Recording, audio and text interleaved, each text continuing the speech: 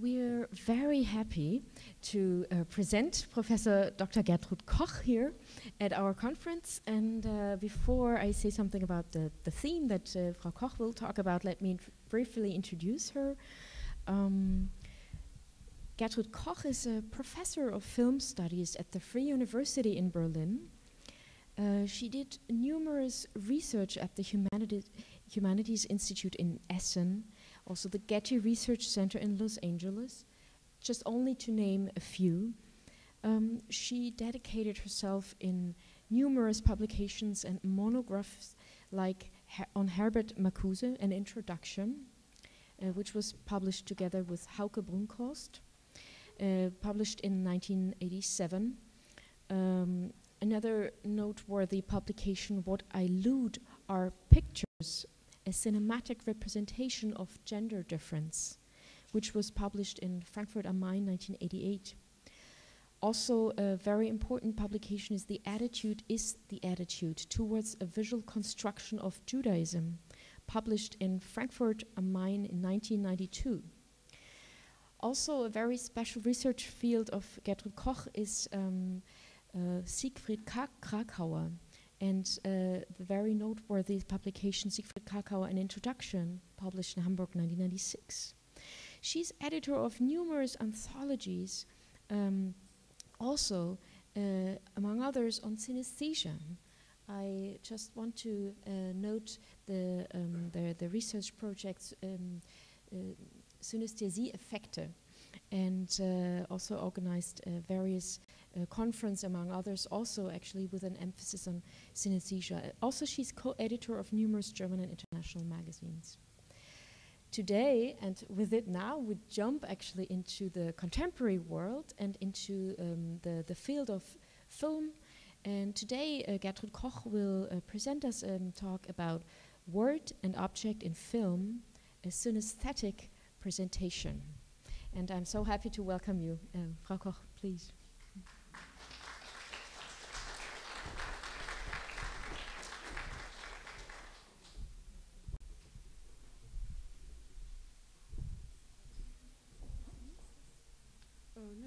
Noch einen Moment.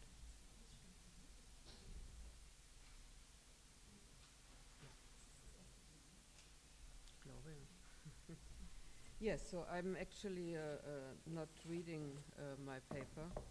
Um, so I want actually to go from a different maybe um, point of departure for the debate. Um, and this, I think it came through quite clear that uh, if we speak about synesthesia, uh, not so much as a natural phenomenon um, as neuroscientists would be interested in, uh, but more on as an aesthetic problem, um, then it seems that we have already two different poetics of synesthesia involved here.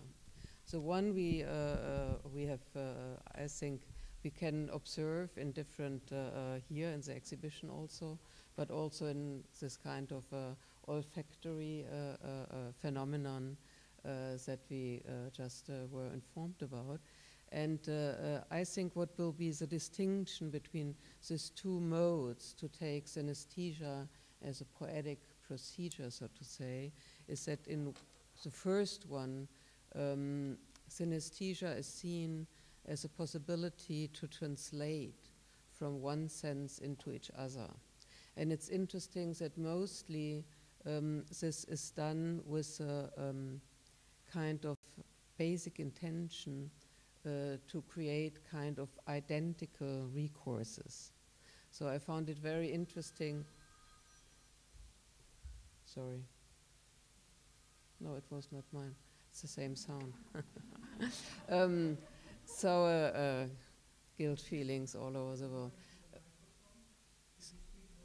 Oh, yeah, sure. It's better now? A little bit only. I think, uh, um, so now it's better. Um, so I don't want to bite in it. But uh, uh, anything, so anyway, so I think this came quite clear that on some level, um, the basic idea is that you can translate one sensual sensation into another And this process of translation uh, becomes a kind of automatic processing. Uh, so when you look, uh, for example, at the examples we have seen here in the exhibition, you can see it's, a, you know, a kind of structural um, idea. Um, the real synesthetes uh, would indeed have the same color perception uh, for the same letter in the alphabet and so on. And so you would get a kind of color order that is also, I mean, uh, marked by the statistical um, distribution of letters in writing that is not equal for languages and so on. So on some level you have this kind of, let's say, a mechanical translation uh, which on some level goes back to the idea that the senses are apparatuses in themselves, that they can translate uh, uh, one into each other. And uh, when you um, look at this, um, the main idea is that uh, there is something to be triggered. And I thought it interesting that even um, uh, in the last lecture, um, this was very much emphasized with, with this idea that uh, um, smell and odor are identity marks.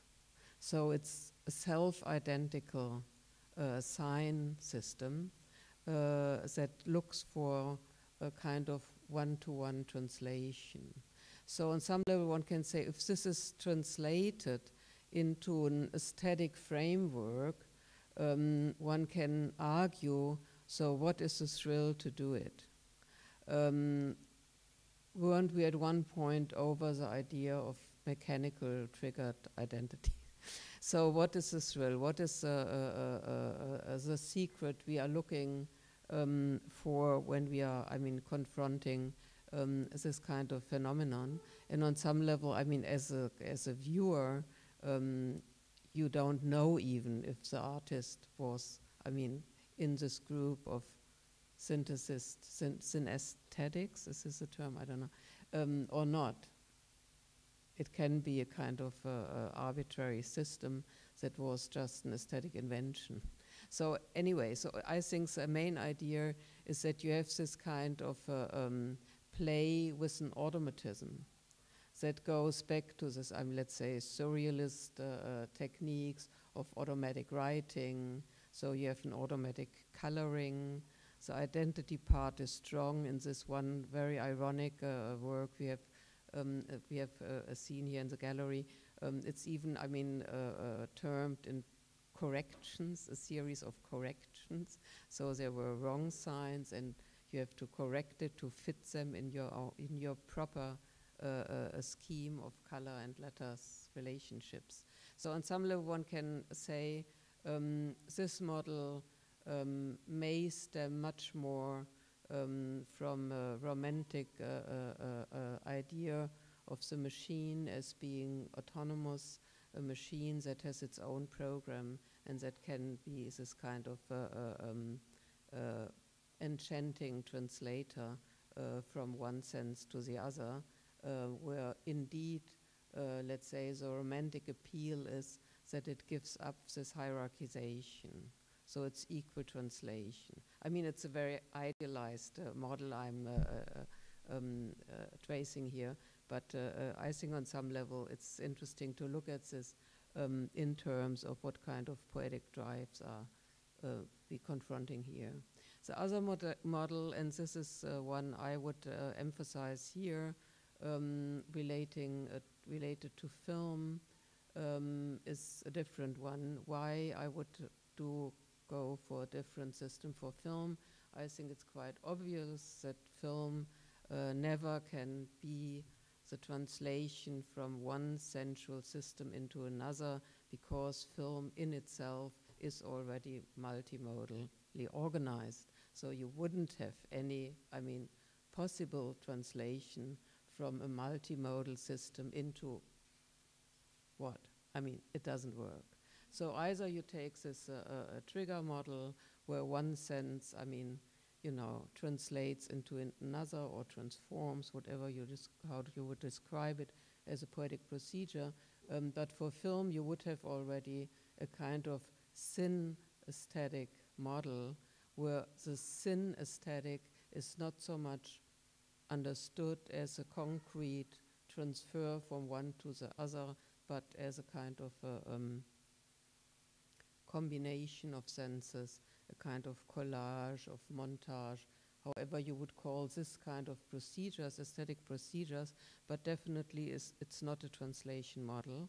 Um, the only translation model I know um, was uh, in the uh, relationship um, to film and music, um, the so-called Mickey Mousing, which was a system where you try to get in each movement uh, what is inherent in the picture. Um, you would find uh, an illustrative sound to go with this specific frame or movement in the frame. So Eisenstein worked on this uh, uh, model. Uh, there are interesting uh, graphic schemes of this, and he took it already from um, his beloved Disney, um, where he experienced that you can indeed go into this kind of rhythmic um, ecstasy, that it's all different senses are brought together uh, into this kind of uh, uh, explosive model, what Eisenstein called, uh, related to the Disney films, the early animation films, um, ecstasy of pure form. So it's uh, um, an interesting model, um, but still it has not so much to do with this first model of uh, synesthesia. And here I come now to some more um, theoretical remarks before I jump to the uh, my example, uh, so to say. Um, so the this idea, the second idea, the second model, um, where it's more uh, that is much more built on the idea of a plasticity of senses um, that are in a multimodal um, exchange um, and that are on some level located in the body as is um, um, the spirit, so to say. So, on some level, you have here a holistic model uh, where you no longer can, I mean, come into this uh, uh, divisions. And on some level, this was uh, uh, uh, founded. Um, I, am sure we have many, many more sources, as we heard in this really um, enlightening lecture this morning. Um, but I would focus it here for many reasons um, on having, let's say, started with Herder's philosophy of language, so to say, where Herder already has this a question um, how, I mean, when he asked, for example, how does um, face, view, and hearing, color, and word uh, smell and sound together. Um, uh, and not so, mu- not so, mu- uh, so much among themselves in the objects, uh, but what are these qualities in the objects? Um, they are sensual uh, sensations in us, and this is for him the important thing. And as such, um, they don't, uh, doesn't they flew all into one? Uh, and then comes this uh, conclusion that I would uh, take as a role model for my model. Um, we are, he says, one thinking sensorium commune. Um, so we are just touched from different sides, he says, and this is where the explanation lies that we are one thinking sensorium commune. And uh, um, with this said, um, I guess uh, here is already um, done this enormous jump from thinking, um, uh, cognition, language, uh, and speech as opposed uh, to the senses. So here is already a kind of holistic model where body and spirit are not seen as distinctive elements, but on some level, the body is the site of all sensations and our thoughts, and our thoughts and feeling so to say, is no longer um, a kind of abstract opposition. And this one can say is this uh, uh, romantic model um, of German idealism that was so, I mean, influential um, for aesthetics as, you know, one of the famous um, program um, of this uh, romantic school, the so-called oldest system program of German idealism, 1797. It's not quite clear to um, to date it um, formulated this in a very short and influential way. Uh, this paper of uh, uh, it's this whole program is not one and a half pages. Um, it was found only in uh, uh, the beginning of the 19th century, 1913, by Franz Rosenzweig. So it, uh, it's no accident um, that this program became the influential cornerstone um, for uh, the aesthetic of the 20th century, um, as it's not, uh, uh, uh, you know, um, the whole philosophical tradition, but a very romantic, fragmentary um, object, a lost object, or even authorship is unclear, so it was ascribed to Hegel um, and Hölderlin and Schelling, and there's a whole philosophical debate still going on who might have been the author. I spare you this, I did it on, in another place, but I just wanted to quote you from this program um, to uh, uh, uh, why I come back to a minute in this. Finally, the, which, the idea which unites it all, the idea of beauty, the word taken in the higher taken in the higher Platonic sense. I'm convinced that the highest act of reason, which in that it comprises all ideas, is an aesthetic act and that truth and goodness are united like sisters only in beauty. The philosopher must possess just as much aesthetic power as the poet. The people without aesthetic sense are our philosophers of the letter. The philosophy of the spirit is an aesthetic philosophy. One cannot be clever in anything, one cannot even reason clearly in history without aesthetic sense. It should now be revealed here what those people who do not understand ideas are actually lacking and candidly enough admit that everything is obscure to them as soon as one goes beyond charts and indices. So this program basically is at stake when, I mean, all this educational Montessori whatsoever um, came into play that on some level you have to um, to take the senses and the cognition um, in one step, so to say. Um, you cannot divide it um, anymore. So, why for me it's important to say that this program became this kind of a, um, fundamental text, for example, for a thinker like Jacques Rancière, um, who quotes, I mean, extensively the oldest system program. I think it has to do um, that it was already referring um, to an opposition between the mechanical state. This is a political aesthetic moment in this program. It's against the mechanical state, and the transformation of the mechanical state would be through this kind of aestheticization. So the aestheticization um, of the world would be uh, the political answer uh, to the uh, Prussian state. Um, the concept in itself um, includes, and this is for me the interesting part here, um, indeed a broader theory of language um, that is based also in sense perceptual um, origins, and it's not something that comes, let's say, from a Platonic heaven of grammar. So language itself is seen already as a kind of, you know, in graphemes and phonemes, so a kind of centrally um, uh, operating um, system. So this, for me, um, could be the only program, if you want, um, of synesthesia um, that would, on some level, fit um, the film aesthetic potential as film developed in the beginning of the 20th century.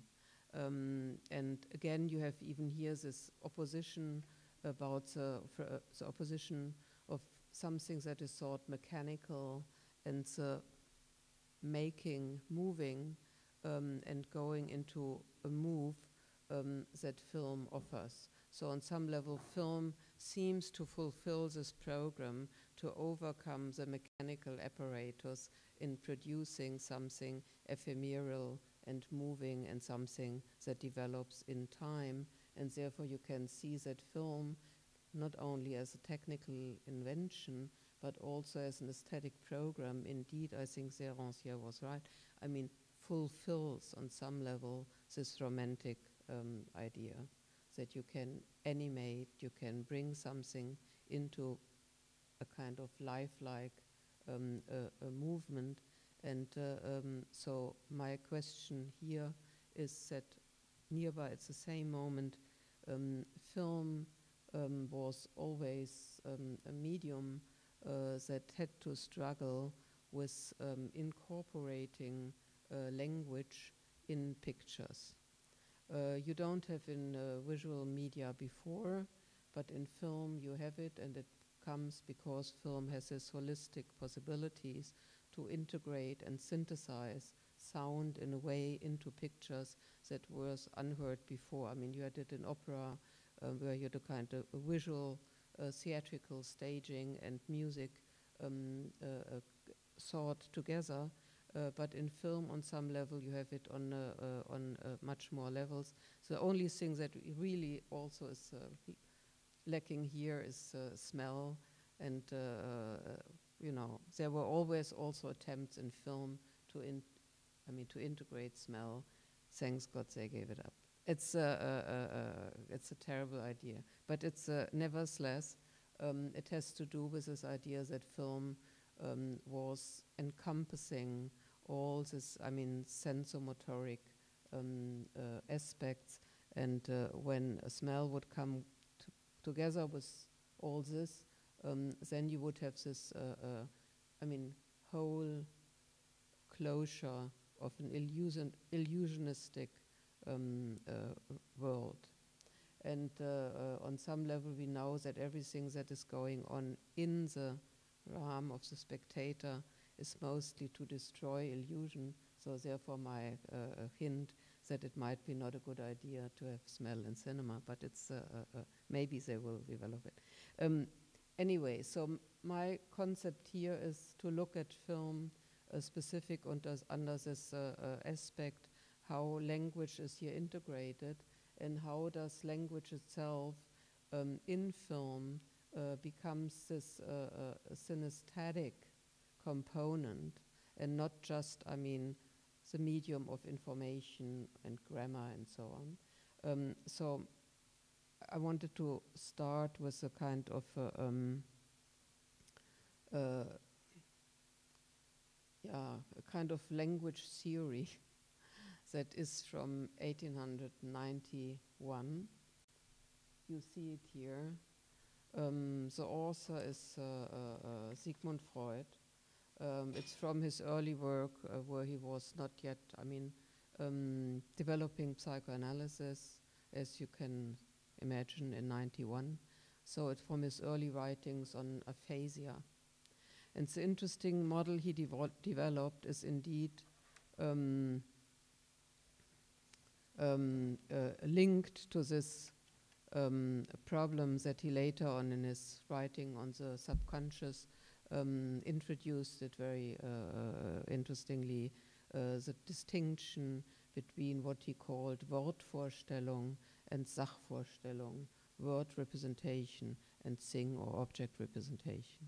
So what you see here is already um, a foreplay to his later um, theory, how um, language and words are interweaving um, this different, um, let's say, um, aspects and dimensions of consciousness and unconsciousness. The word he writes is a complex, a complex uh, uh, presentation, representation, imagination that is uh, consisting, um, uh, consisting in images, or to put it differently, um, there's an equi equivalent uh, to the word from a com very complicated a procedure of associations um, done by the elements of visual, acoustic, and kinesthetic uh, origin, and that they, I mean, you know, it's this kind of uh, links they have uh, um, uh, uh, among themselves. Um, the word, um, I had it here translated, I'm sorry.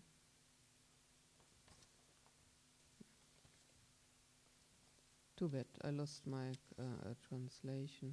Um, the word uh, um, uh, gains its uh, meaning uh, through the um, stitching together with the representation of objects, at least if, you, if we um, concentrate our, our thoughts, our considerations on substantives.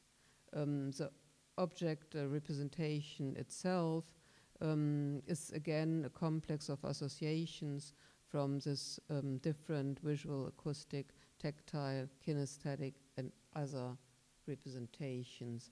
And uh, so when you look at the, uh, the scheme, uh, you see um, you have the object associations that are visual, tactile, and acoustic, and this forms into a Klangbild, what is a sound image. Uh, from the sound image, you go to the um, reading image, so the graphemes, if you will like, and from there to the Schriftbild, the writing image. And then you have uh, uh, from, from the sound image a Bewegungs moving image, image of a kinesthetic uh, uh, image. So the word representation is already, I mean, fed by this very complex um, texture of sound, of tactility, of, you know, images, of writing, um, of reading, and of kinesthetic sensomotoric aspects. So all this is language on some level, and you see it's a language is seen here as a much bigger complex as language is uh, uh, um, linked to our sensual um, being in the world on some level. So it's not that you can really come to a split here. Um, in this model, I would say, and I leave aside the later psycho and in a closer sense psychoanalytic um, reading that uh, Freud then started from his own uh, uh, beginnings. Um, so I took take this model um, as a model of a synesthetic um, framing of language in film. So indeed, in film you have speech, you have writing, uh, you have sound, um, you have a kind of uh, uh, um, very complex um, used uh, tactility that goes to the morphological surface of objects um, that are pretty well um, uh, translated even from this um, uh, uh, two-dimensional uh, light projection we finally see as film. So Freud's scheme in many ways reflects the synesthetic qualities of language when it is taken away from the mere grammatical and logical functions it allows to perform the fluidity between visual, acoustic, tactile, and kinetic streams that are channeling the modality of the production of meaning in words, in words could serve in many ways as a blueprint to map the complex way in which language and image is interwoven in film. The written, spoken, and heard language that shows and hears as voices, typefaces, letters, songs, and sounds work into the scenic representation of the said and heard. The representation, and I come now to my um, my uh, uh, um, example here. Um, it's taken from uh, a work I have done on the films of Chris Marker. Um, in his films, language is extremely important, and uh, uh, so my um, hypothesis here is um, that, let's say, what ma what makes Marker's films interesting in an aesthetic way as films, and what gives him, let's say, um, what I, I, was interested in on some level to analyze his poetic of film. So not so much what has he to say as a political essay filmmaker.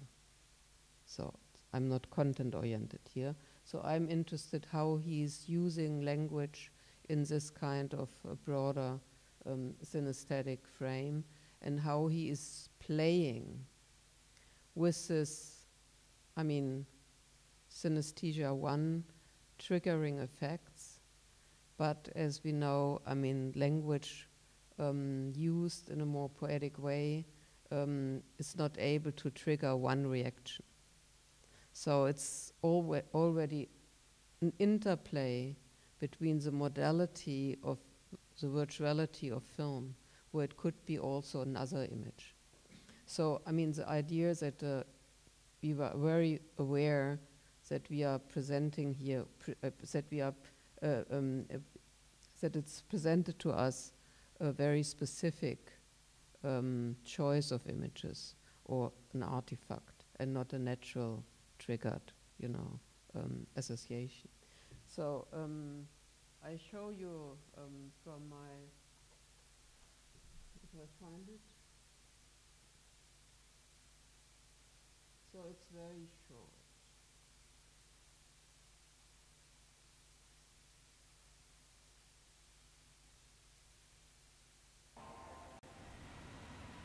Fiction change, change in a man.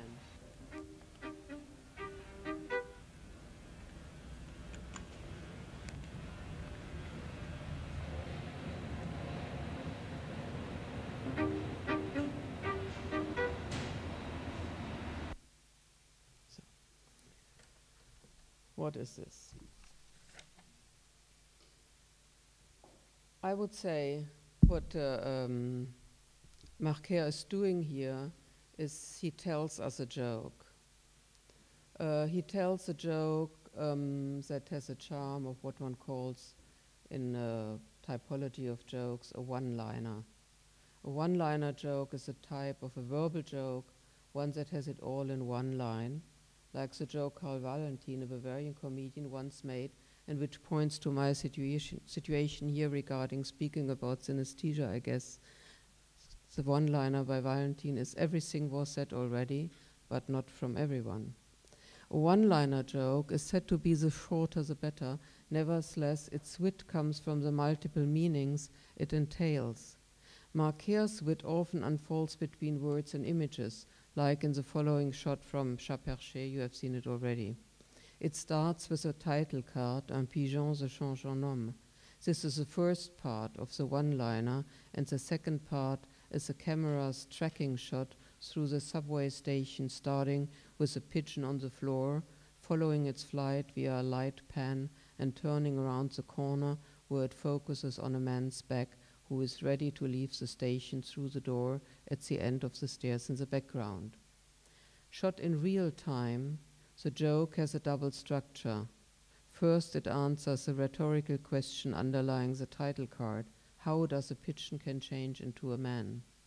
And the shot, the shot finally answers the question by suggesting that in cinematic poetics, a pan can be a pun.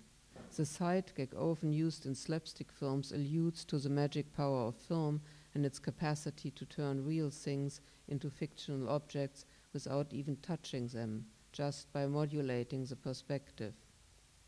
A capacity that is in this shot nevertheless that in this shot nevertheless depends on a performative act, the one the title card enacts, the propositional sentence that claims that what we will see is a pigeon changing into a man, changes foremost our expectation and makes thereby clear that we are not expected to see a short glimpse on, on men and other animals moving through a subway station. The joke is working via the decentering of our habits of viewing, in Odin's, term, shifting semiopragmatics from documentary to fiction.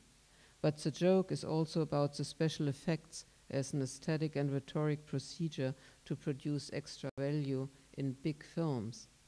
The joke only functions insofar as we deep down are convinced that the magic marker has a magic, magic pen that compi- combines pen, pan, and pun.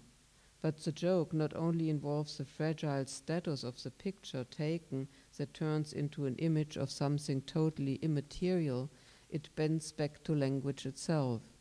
The auctorial sentence sets our imagination in motion and assigns to language the power of poetic creation. In Marker's film, images seem to shift between different modalities. They may signify both the world in front of the camera as well as a mental image that results from the interplay between what Freud called Wortvorstellung, word representation, and Sachvorstellung, thing representation. And I think I make just a, um, a stop here because that's basically um, my argument um, integrating language into a concept of synesthesia um, for film aesthetics. I mean, if you want to go for synesthetic moments in film, you cannot avoid language. So, and so far, I would say that uh, uh, um, synesthesia in film aesthetics uh, would mostly always um, have to go back uh, to the Herder model, so to say, and uh, therefore um, is in itself already uh, an answer, and so far also film is an answer um, to the non-poetic use of language um, as a sheer either logical grammar system or a system of pure, I mean, designation in terms of identical, um, of identifying objects. So, and so far, I would say that uh, um, the poetic use of language in film works through the synesthetic moments in language itself. Yes, that's it.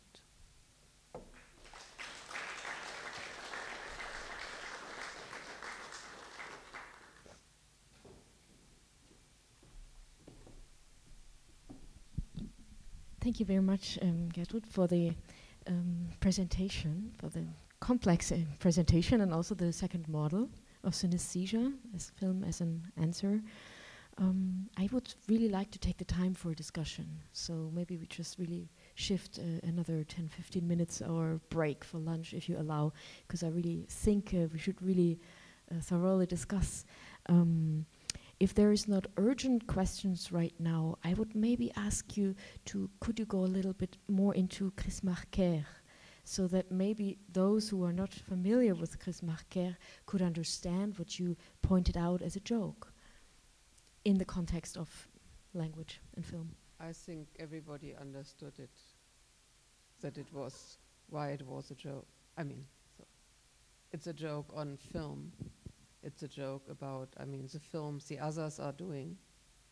Um, and in so far, one can say um, it's a joke that uh, uh, uh, uh Marker is doing in the on the background of film history.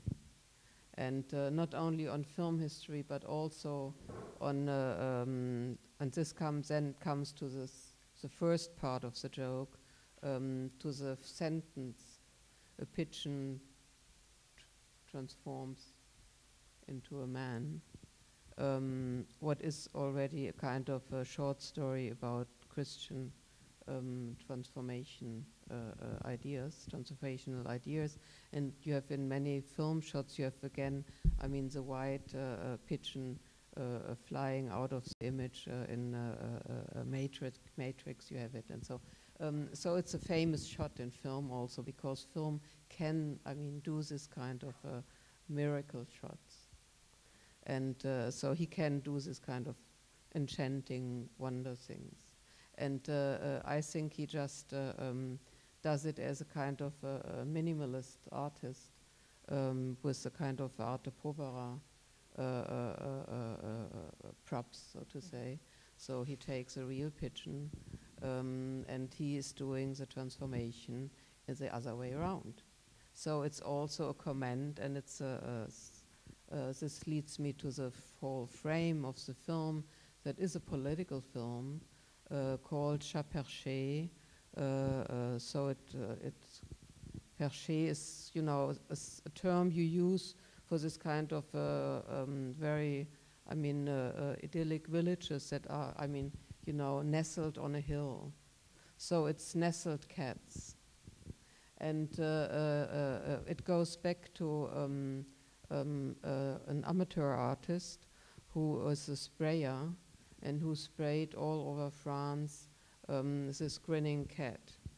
I can show you if you, if you have time for yeah. this. Yeah, of course.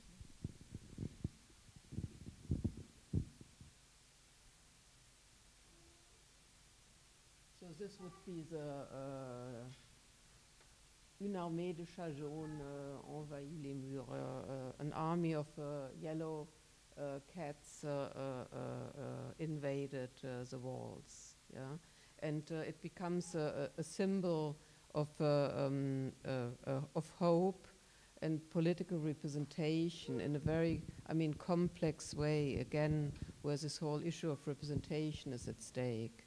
And uh, uh, Marker brings this film um, to manifestations at the time. I don't go now for the content of these manifestations, where the cats were already, I mean, being political symbols. So tr they transform themselves from images, you know, um, into kind of living symbols. From the representation of the symbol they become, you know. Um, and this is uh, one of the, uh, uh, the other jokes uh, uh, uh, Marker is doing. So he's doing his own alphabet. Confederation, humanists and anarchists and workers. So Sha means, you know, so it's this kind of playing with uh, this old techniques of taking the, uh, the letters um, for, I mean, a kind of a pictorial representation um, of, of a, a, proper name or word. And you can see he plays with this. It's all about um, taking uh, language as graphemes, as uh, uh, uh, modes of pictorialization and so. Um, and the, the, the orange cat, that's Marker's cat. So he has also kind of a, a, a uh, typical uh, cat symbol in his work. And so he brings together his cat supports the cat of the other. Um, and he has already a kind of a, a, a transformation um, where he um, shows that cats were always a kind of, I mean, symbol or companion um, of humans, human beings, and he shows it uh, through a short history of art. And uh, here he integrated the cat into a kind of uh, a cave painting. Um, so you see, it's all very ironical. It's all about, and here is a kind of cubist cat. Um, and you have the revolutionary Soviet cat. So it goes through this whole history of uh, possible cat. Uh, here, so finally the film ends with the disappearance of the cats at this unpleasant historical moment um, when, uh, uh, you know, in the French election um, uh, uh cycle, um, there was a kind of a problem where um, the French left had to vote for the French conservatives um, to avoid uh, uh, the right-winger Le Pen coming into power. So, and it was all about, the, let's say, the tragedy of French politics. Um, I mean, manifested itself in this paradoxical voting process. And this is a moment where the cats are disappearing. And then at the end of the film, they are reappearing and they are kind of uh, what Kant had called Geschichtszeichen. So they became a sign of hope that history might in the change in the future. So it's a very complicated film on some level, um, even if it's very light in this uh, ironical way, um, dealing with future memories. And uh, um, so it might be interesting for discourse on synesthesia um, how this kind of uh, synesthetic um, montage of images and words are used here indeed uh, to, on some level, to create a memory that will be the memory of our future. So it ends with the reappearance of the cats um, as symbols of the future. So I mean, Marker, maybe you know, uh, maybe his most famous film was the one he has done with Alain Resnais, um, uh, uh, Night and Fog, et Brouillard. And uh, so he's known as a documentarist, but basically he's what one calls an essay filmmaker. So it's a kind of political discourse he's uh, uh, following in um, this montage of images, uh, uh, language, um, and sound. And it's interesting that he's uh, also um, doing this with digital post production. Um, so you have also kind of, a, um, let's say, new aesthetic of images where you no longer have this kind of one um, perspectival focus in each shot, so he can have multiple focuses in one shot through his digital post-production. What is also interesting in, in what uh, is there a synesthetic moment between images? I mean, in images it's themselves. And uh, um, so he has.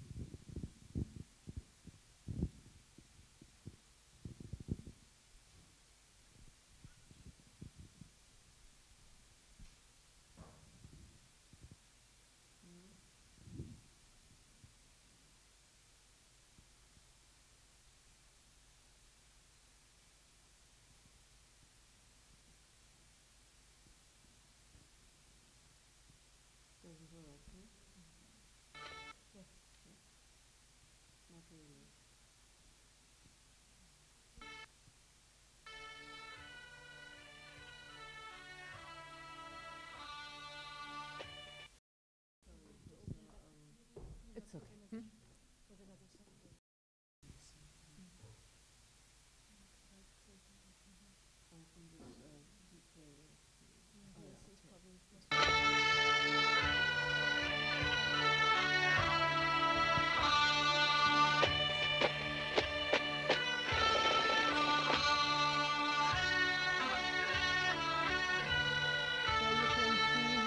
Something in the middle of the image uh, comes like an explosion, or you know, you can say it's a kind of anamorphic montage. And uh, this, I think, is very interesting that uh, this gives this kind of internal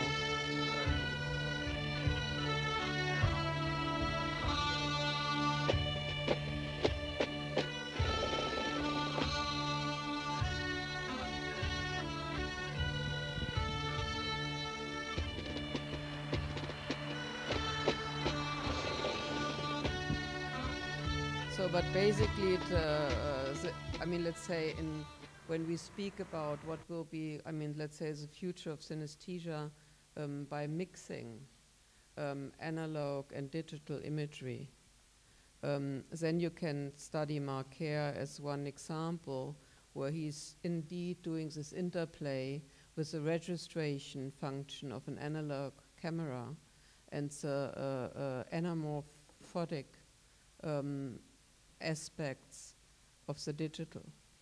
And uh, it's very rare that you have it in filmmaking uh, that someone mixes these two um, ways. Okay. Um, are there questions and comments right now, finally? Yeah, James, and then Paulina, please.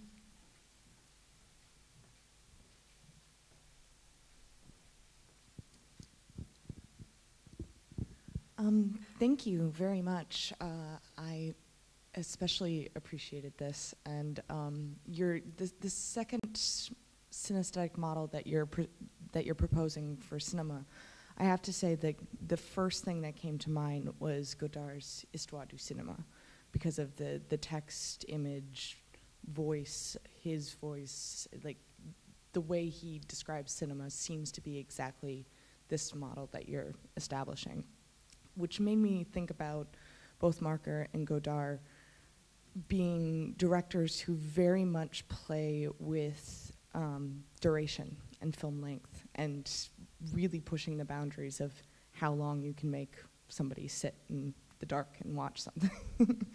and I'm wondering if that actually is part of this model that you're presenting in terms of a extended experience the, the fact that their films are do tend to be on the longer side if this is something that you read in your work on Marker I mean, Marker would not fall on this uh, long durée uh, uh, track.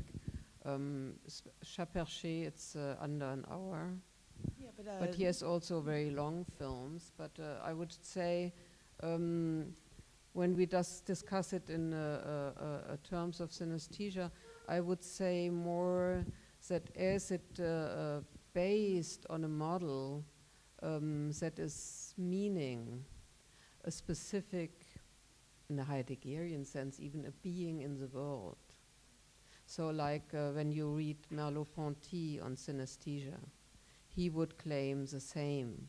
I mean that synesthesia just means that we are as bodily beings um, in the world, communicating, so to say, with the world through all our, I mean, being, our existence, so to say. And on some level, you can say, um, taking this notion of synesthesia as this kind of general description of a specific way of human beings being. Animals may be the same. I, I'm, I'm not a specialist in this, but I guess um, they live in in a world also. Um, then you can say, yes, it's in so far it's endless. What is also the problem? Because it's on some level, it's this kind of idea also um, that there are no borders. It's a borderless world. And uh, so I like in this idea that it's go against this identity claims so it's not this, you know, you just catch one identity and that's it. Um, but it has this kind of enormous, I mean, open horizon. Um, what film, in many ways, um, simulates um, with this mobility and dynamism of a moving camera that leaves, I mean, on some level, um, the world of framed images um, as it has always this potential or the virtuality, um, to put in, in, in the Deleuzian terms, um, to, I mean, move a bit and then you would have another horizon, another world. So on some level, yes, I would say this has to do with this uh, second model.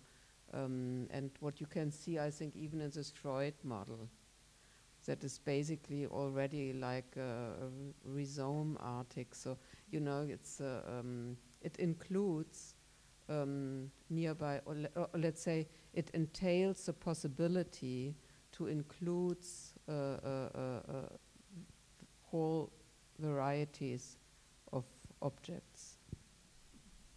And this one can say maybe uh, um, the synesthetic pleasure in film, as already Rancière uh, describes it, I mean, in this possibility um, to show infinite objects. So it's on some level a medium of inclusion, even if it goes always for shots and extracts and so. But from its aesthetic and poetic uh, um, program, so to say. Um, it has this kind of uh, dynamizing effect of uh, uh, opening horizons instead of closing them. Okay, I would say maybe Paulina and the last um, question from Katarina, and then we will close the conversation. Well, thank you. This was very interesting. Uh, I have a number of questions here. Um, just a brief one at first, which is about the music. I think music is really important, but I didn't hear you talk about it, so I'll be curious to hear both about the pigeon and then about the cats. Um, then uh, I have a question uh, about the integration uh, or the synthesis, as you sort of seem to uh, suggest in terms of uh, uh, work. Uh, on some level, it seems that the pigeon uh, little clip, uh, it's a one-liner joke, that's for sure there, but it reminds me more not of this integration, which will be more of the illusionistic type of um, film, but more uh, in terms of, let's say, Foucault's um, essay on uh, um, on Magritte, uh, and Pip, it seems to be like this heterotopia there that they're not really intimately uh, connected, and maybe in a way montage and collage do this anyway, but it seems that they exist in these different spaces, and you see one and you see the other, and somehow you connect them, and that's sort of how the joke works, because otherwise, if they're synesthetically, synthetically connected, it's going to be like way too utopian for it to be uh, to be funny. Uh, and uh, yeah, and I had a question about Merleau-Ponty, but I think that you answered it, so I'll Mhm. just stop here. I mean, let's say if one really goes in a close reading of the one-liner, um, the interesting thing is that it's not done with a cut. Mhm.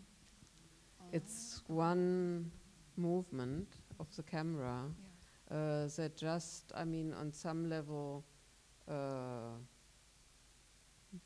moves around the axis, so it goes a little bit higher, so that the pigeon uh, uh, uh, doesn't go around the curve, so to say. And H- so how about the title itself? Is the title integrated in the shot? I mean, I just don't remember at this point. It's no, it's very classical. It's you So, have this yeah. uh, uh, uh, a card uh, with the title, Mhm. and then you have the the camera movement. But Yeah. it's two different things, but it's one sentence, so to say. If you would look for, excuse me?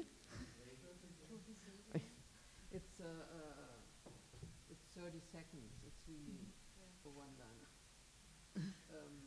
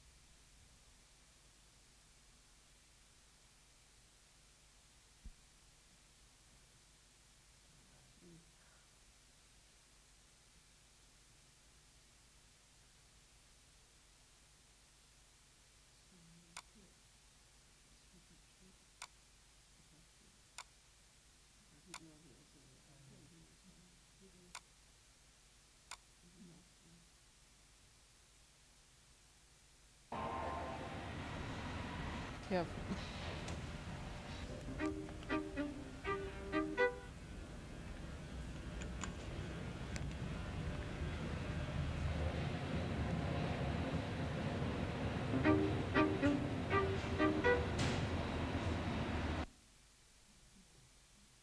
You know, it's always the death of a joke if you analyze it. It's, uh, uh, Mhm. but Yeah. it's, uh, uh, it really lives from this shortness. Mhm. Uh, that you see this pompous title card, and then comes this very short uh, uh, sequence where the music is basically um, making allusions to uh, suspense thrillers or something, you know.